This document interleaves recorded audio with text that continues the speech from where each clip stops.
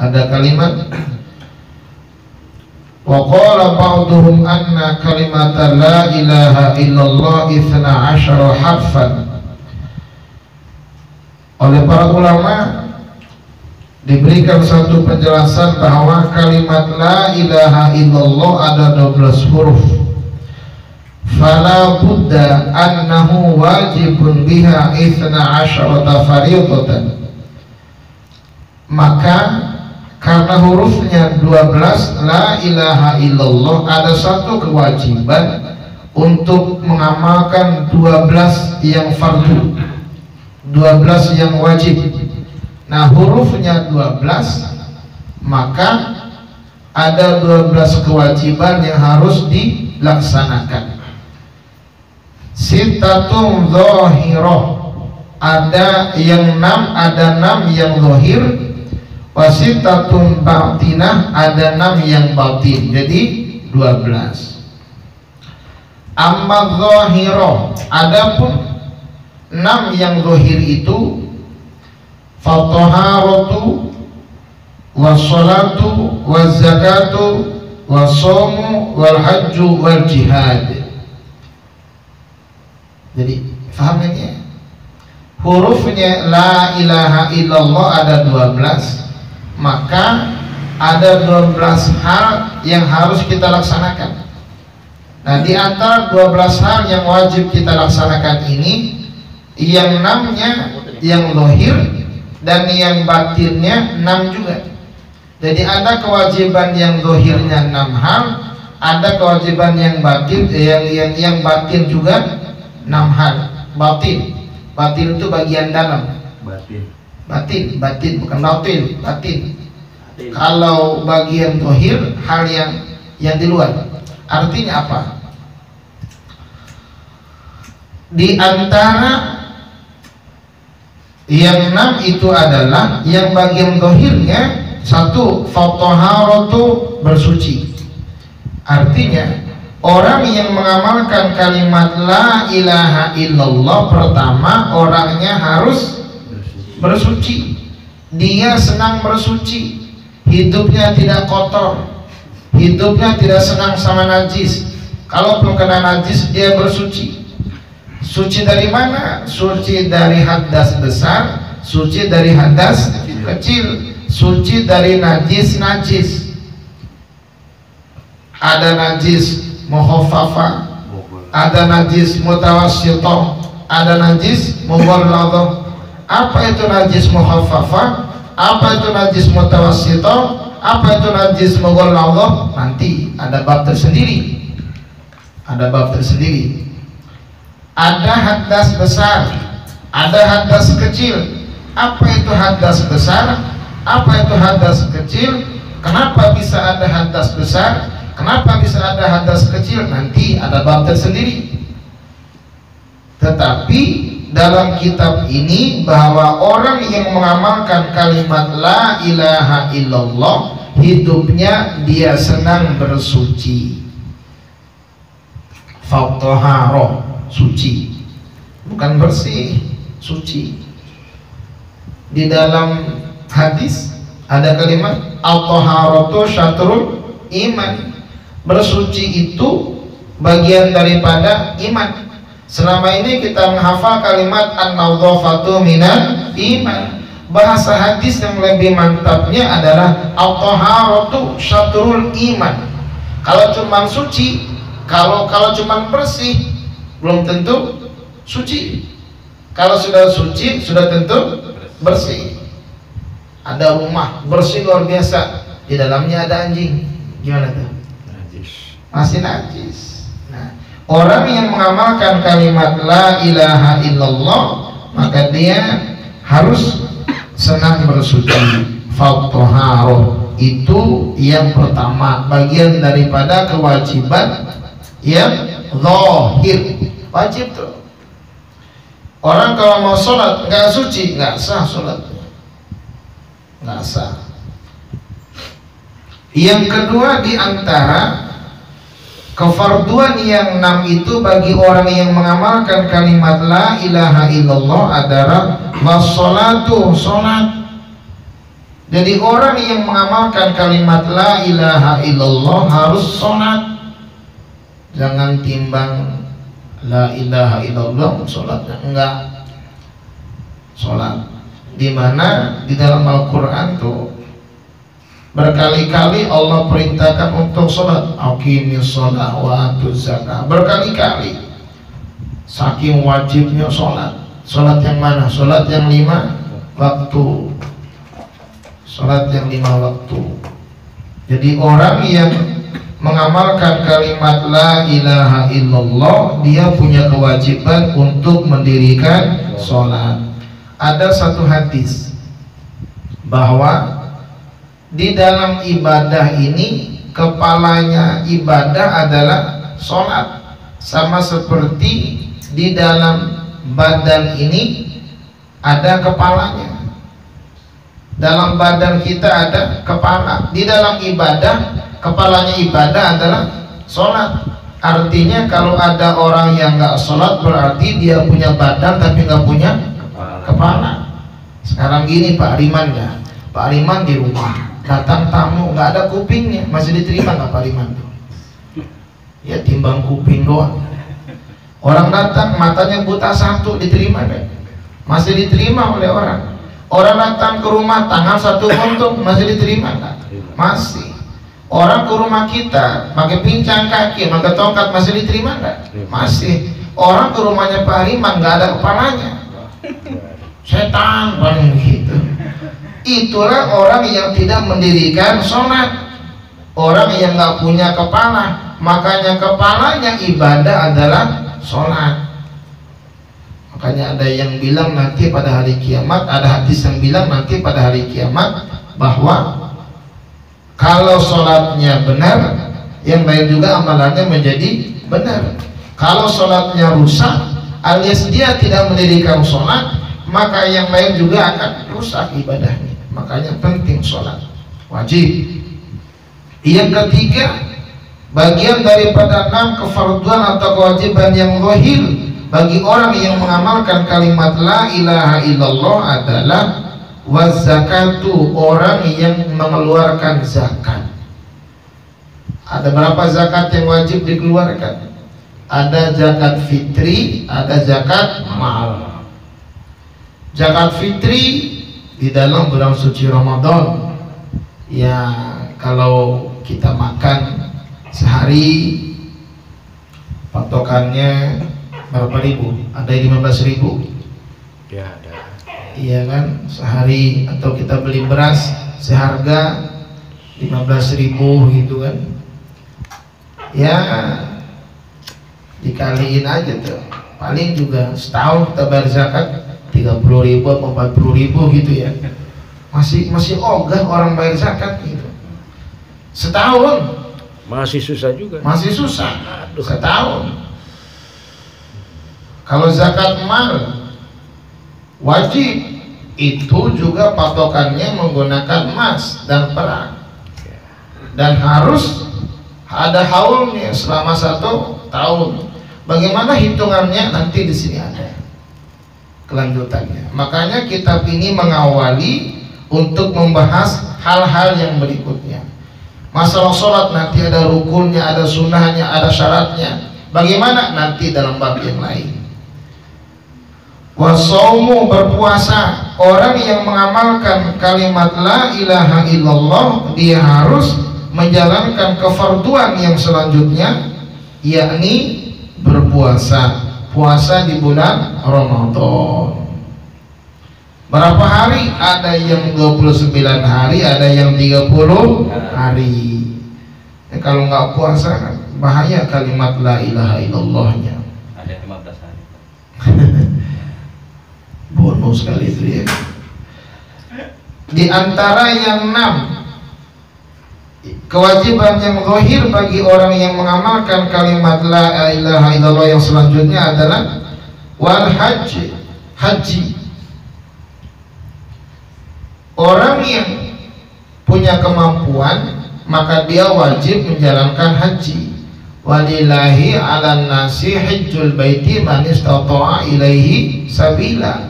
Di situ ada kemampuan jalannya. Jangan sampai orang mau ibadah haji ngutang orang mau umroh ngutang nggak ada itu.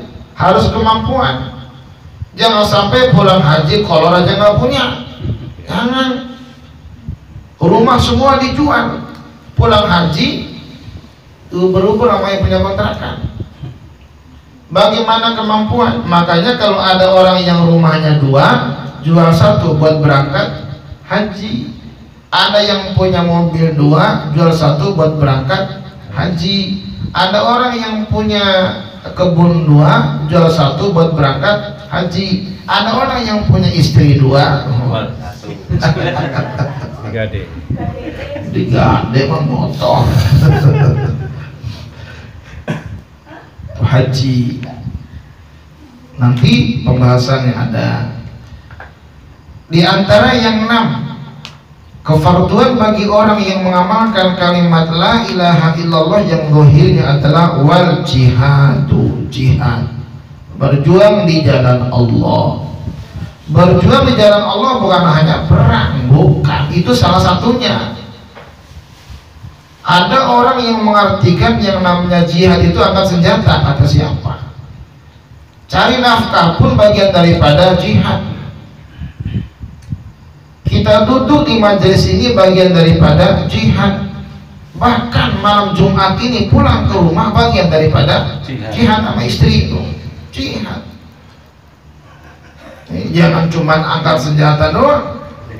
Apalagi ada orang yang ngomong anjing sama orang sambil takbir. Jihad opo itu? Enggak semua jihad. Nggak ada Jihad artinya orang yang bersungguh-sungguh di dalam kebaikan di jalan Allah. Dalam Al-Qur'an Allah Subhanahu wa taala berfirman, "Walladzina jahadu fina lanahdiyannahum subulana." Dan orang-orang yang berjuang di jalan kami, orang-orang yang berjihad di jalan kami fina, jalan Allah. Banyak jalan Allah itu, sholat ada jihadnya, puasa ada jihadnya haji ada jihadnya umroh ada jihadnya munajat ada jihadnya majelis ada jihadnya jual bakso ada jihadnya jual keripik ada jihadnya masang spanduk ada jihadnya. Kalau nggak ada jihadnya nggak bakal jadi. Ada kesungguhan. Nah siapa orang yang kesungguhan dalam jalan Allah jihad itu tadi Allah akan kasih jalan kebenaran di dalam itu jihad. Bukan angkat senjata doang. Itu bagian terkecil daripada jihad. Itu kalau zamannya lagi perang. Zaman damai begini mah jihad menjaga kedamaian. Bukan hanya angkat senjata jihad itu. Nah itu yang bagian yang tohirnya. Bagian tohirnya.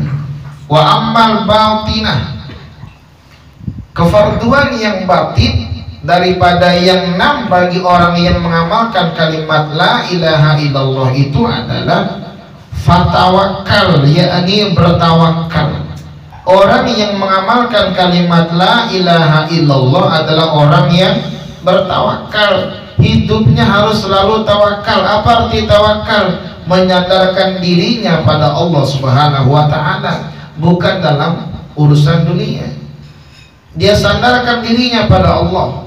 Tetapi tawakal yang ini adalah apabila telah kita berusaha.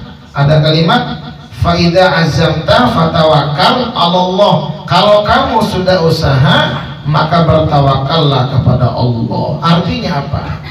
Kalau kita jual bakso itu usaha namanya. Hasilnya serahkan ke Allah tawakal hidup sudah berusaha hasilnya serahkan ke Allah. Orang yang jual keripik jual pecel ayam udah buka warung itu usaha. Hasilnya serahkan ke Allah itu tawakal namanya. Jangan tawakal nggak ada usaha. Sama seperti ada sahabat Nabi yang mau sholat bawa unta ontanya nggak diikat. Tegur sama Nabi. Tuh onta ngapa nggak diikat? Nabi aneh mentawakal sama Allah. Ikat kalau kabur aja gimana lo urusan ini? Sama seperti kita kalau pergi ke masjid ke musola bawa motor. Motor bagus lagi. Belum lunas baru ambil satu bulan. Kunci taruh di situ. Dinyalain lagi itu motornya. Kita pergi sholat. Pulang sholat insya Allah. Hilang. Bukan tawakal konyol namanya. Maka ada usaha dulu. Hasilnya kita serahkan kepada Allah subhanahu wa ta'ala tapi setelah adanya usaha itu orang yang mengamalkan kalimat la ilaha illallah kewajiban yang batinahnya itu. Yang kedua adalah wa tafwidu tafwid. Apa arti tafwid? Tafwid adalah tingkatan tawakal yang lebih tinggi. Di dalam urusan tasawuf ini makomnya tinggi bukan tataran kita makomnya para wali, makomnya para ulama. Mereka sudah tak butuh lagi urusan dunia, seakan-akan dunia yang menyamparin mereka. Ini tingkatan tafwid yang bukan makom kita begini. Yang selanjutnya adalah wasabru, sabar, sabar. Orang yang mengamalkan kalimat la ilaha illallah harus sabar. Harus sabar. Kalau nggak sabar, bubar hidup ini timbang dapat ujian sedikit putus asa gitu kan. Apalagi pengajiannya lama benar sih ceramah dari tadi gitu kan. Itu kan nggak sabar. Kalau nggak sabar dalam sholat ada sabarnya. Dalam ibadah harus ada sabar. Makanya sabar tuh di dalam ibadah sabar di dalam menghadapi musibah sabar di dalam meninggalkan kemaksiatan. Bagaimana sabar dalam ibadah? Majelis ada sabarnya sabar menjalankan ibadah. Sholat ada sabarnya. Puasa ada sabarnya. Haji ada sabarnya. Umroh ada sabarnya. Berjihad ada sabarnya. Baca Quran ada sabarnya. Kalau nggak ada sabarnya sholat, eh, sholat subuh bisa satu rakaat. Kalau nggak ada sabarnya sholat isya bisa dua rakaat. Munajat kalau nggak ada sabarnya pulang dari tadi urusannya.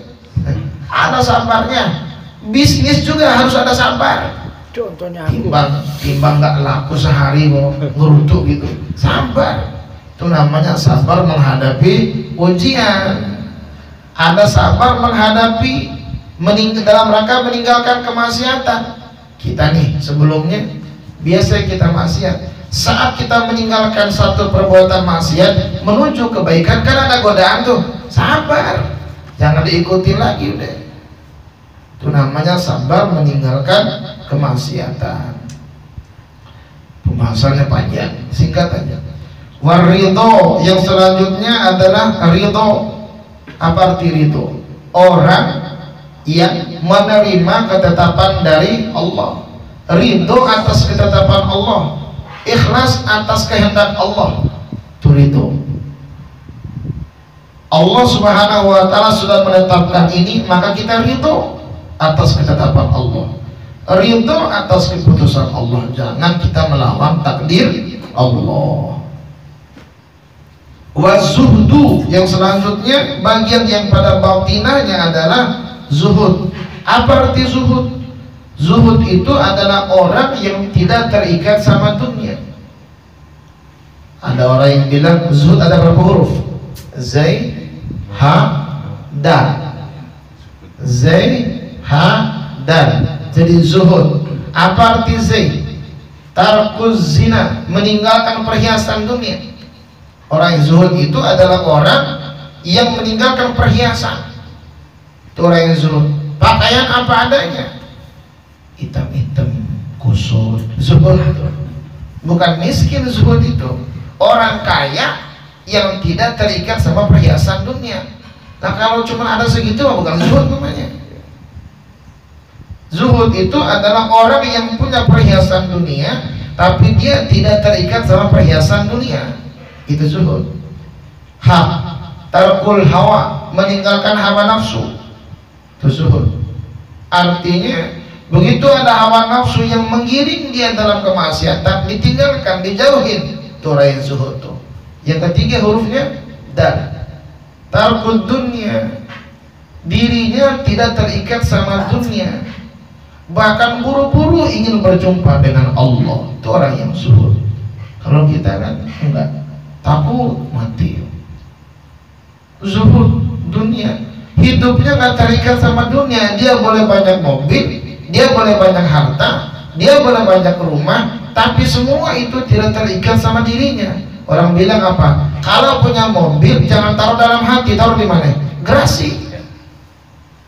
Taruh di hati memuat orang yang punya duit jangan taruh di hati. Taruh di mana rekening. Wah kasur kan. tuyul. Nah itu zuhud. Cuman ini bukan makom kita nih. Kita ini masih dunianya masih luar biasa ini. yang keenam adalah wat taubah orang yang bertaubat kembali kepada Allah meninggalkan kemaksiatan-kemaksiatan meninggalkan perbuatan dosa. Nah inilah makna la ilaha illallah. Hurufnya ada 12 maka ada enam kewajiban yang secara lohir ada enam kewajiban secara batin menjadi 12 yang enam lohir apa suci sholat puasa haji zakat jihad. Enam tuh yang batin apa? Apa yang batin udah lupa aja baru satu menit. Ini yang batin tawakal tafwid sabar ridho zuhud taubat. Jadi berusaha kita enam itu kita amalin kalau toharoh insya Allah kita insya Allah sholat insya Allah puasa insya Allah mengadak 15 hari? Ada ya? Ada lagi. Perempuan dapat. itu perempuan. Iya, lagi dapat biasanya ada yang pojokan. Iya, perempuan itu perempuan lagi dapat ya. Masa sampai 15 hari? ya kali kebiasaan hari itu 15 hari gitu. Alit dua minggu. Minggu ngocor terus. Kelengar kali. tuh. Apalagi eh, sedangkan yang zahirnya eh, yang batin yang batinnya ingat tawakal. Tawakal gimana kita tawakalnya terus gimana kita tentang ridhonya. Bagaimana kita tingkatan ketakwakalannya bagaimana kita tentang sabarnya zuhudnya taubatnya? Nah, ini titik tuntut nih.